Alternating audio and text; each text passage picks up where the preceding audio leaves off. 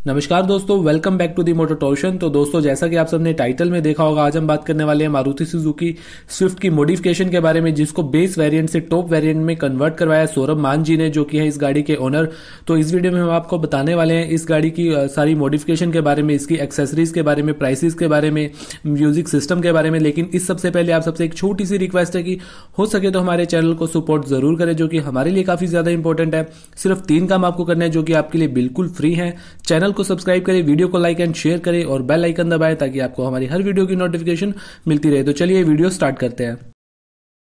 तो हमारे पास है स्विफ्ट का एल एक्स आई वेरियंट जिसको बड़े ही अच्छे तरीके से मॉडिफाई करवाया हुआ है सौरभ जी ने। एक हेडलाइट्स को छोड़ के गाड़ी का हर मेजर पार्ट जो है वो काफ़ी अच्छे तरीके से मॉडिफाई करवाया हुआ है और देखने में काफ़ी अच्छा लग रहा था कि हमने सोचा क्यों ना आप सबके साथ इसकी मॉडिफिकेशन जो है वो शेयर की जाए। तो स्टार्ट करते हैं इस गाड़ी के फ्रंट से।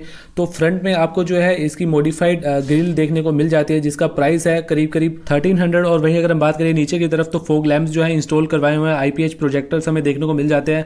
ट्वेंटी टू हंड्रेड इनका प्राइस है और वहीं अगर हम बात करें डीआरएल्स की तो थ्री प्राइस है डी का जो फोक लैम्प के साथ जो है इंस्टॉल की हुई है। और वहीं अगर हम बात करें साइड प्रोफ़ाइल की तो साइड में हमें अलोई व्हील्स देखने को मिल जाते हैं।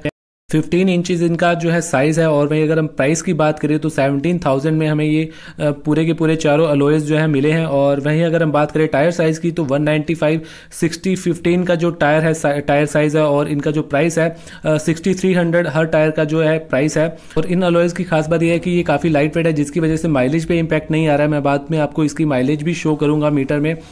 साइड में ऊपर की तरफ़ अगर हम बात करें तो इंडिकेटर्स जो हमें बेस वेरिएंट में देखने को मिलते थे, उनको इन्होंने रिप्लेस करा दिया है क्रोम एक्सेसरी से, जो कि देखने में काफ़ी ज़्यादा एग्रेसिव लुक दे रही है, जिसका प्राइस है वन थाउज़ेंड और जो जो बेस वेरिएंट के हमें रियर व्यू मिरर्स देखने को मिलते थे, वो भी इन्होंने टॉप वेरियंट से रिप्लेस करा दिया और जनरली ये हमें ट्वेल्व थाउज़ेंड में मिलते हैं बाहर की मार्केट से एक, जो पेयर की अगर हम बात करें तो और ये है इसका ओवरऑल साइड लुक आप देख सकते हैं। साइड में हमें डोर हैंडल्स पे क्रोम देखने को मिल जाती है और वहीं अगर हम बात करें पीछे की तरफ़ तो पीछे की तरफ़ भी काफ़ी अच्छी मॉडिफिकेशन करवा रखी है। हमें डिफ्यूज़र देखने को मिल जाता है। इसके अलावा जो टेल लाइट्स हैं, वो कम्प्लीटली चेंज्ड हैं। और डिफ्यूज़र की अगर हम प्राइस की बात करें तो 1800 का जो इसका प्राइस है। और यहाँ पीछे की तरफ़ हमें लोगो भी देखने को मिल जाता है, जिसका प्राइस है 400 और यहाँ अगर हम अगर टेल लाइट्स की बात करें तो टेल लाइट्स का जो प्राइस है वो है इलेवन थाउज़ेंड जो कि देखने में काफ़ी यूनिक और काफ़ी स्पोर्टी लुक दे रही है इस गाड़ी को।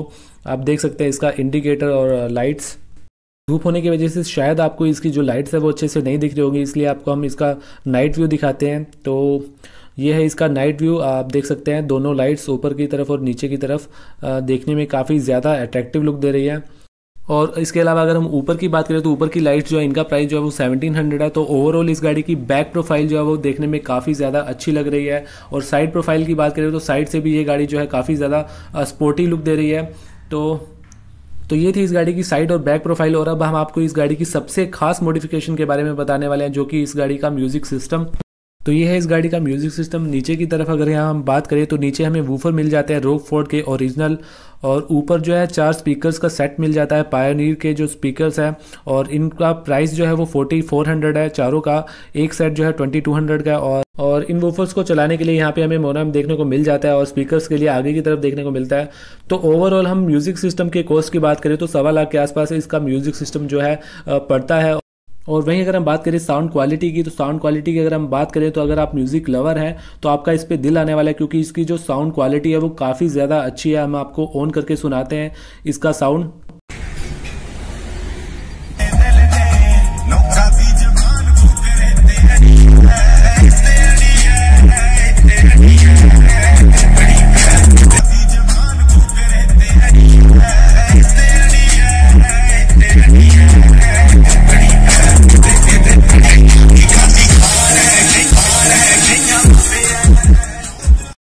वीडियो में शायद आपको बीट्स जो है इतने अच्छे से ना सुनाई दी हो, क्योंकि रिकॉर्डर का जो माइक है, उसमें इतनी कैपेबिलिटी नहीं होती है कि इतनी ज़्यादा हाई वॉल्यूम बेस को वो रिकॉर्ड कर सके। तो ये तो था इस गाड़ी का म्यूज़िक सिस्टम और यहाँ अगर हम बात करें इंटीरियर्स की तो इस गाड़ी के इंटीरियर्स जो है, वो भी मॉडिफाइड है। यहाँ पे आप देख सकते हैं आपको वुडन फिनिश देखने को मिल रही है। साइड में आपको मॉडिफिकेशन देखने को मिल रही है। ये है इस गाड़ी के सीट कवर्स और ये इस गाड़ी का मीटर 19 की माइलेज जो है, इस गाड़ी को मिल रही है लोई व्हील्स के साथ। और इसके अलावा अगर हम बात करें, अंदर की तरफ़ डैशबोर्ड पे भी हमें वुडन फिनिश देखने को मिल जाती है।